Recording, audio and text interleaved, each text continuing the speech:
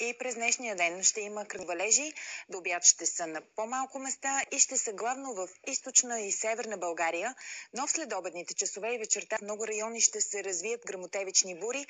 Ще има условия и за локални интензивни валежи и градушки. В сила за цялата страна е предупреждение от първа степ жълт код. Повече слънце ще има преди обяд на юго-западна България. Вятърът ще бъде слаб, но при развитието на купесто-дъждовната облачност временно ще се усилва. Максималните температури днес ще са между 20 и 28 градуса. Над планините облачността ще е значителна с времени преди обяд над масивите от Южна България, но след обяд и там ще се развият грамотевични бури. На места явленията ще са много интензивни, а във времето без бури вятърът ще бъде слаб, предимно от северозапад, в югоисточните масиви от юг-югозапад. Температури в курортите днес около и малко над 20 градуса.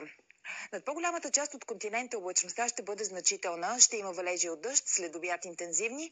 Повече слънчеви часове днес в Дания, северните райони на Германия и в по-голямата част от Полша. Предимно слънчево ще бъде и над Южна Испания и по Средиземноморието.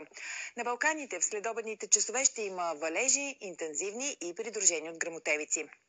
У нас до четвъртък остава повишена вероятността за градушки и локални интензивни валежи.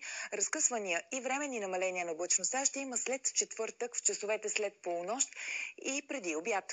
Дневните температури Утре ще са между 22 и 27 градуса. В последствие до края на седмицата слабо ще се повишат и в отделни райони ще достигат 30-31 градуса. Такава е прогнозата за времето. Всичко по-важно вчерашния ден, Хриси, обаче сега ще разберем от теб.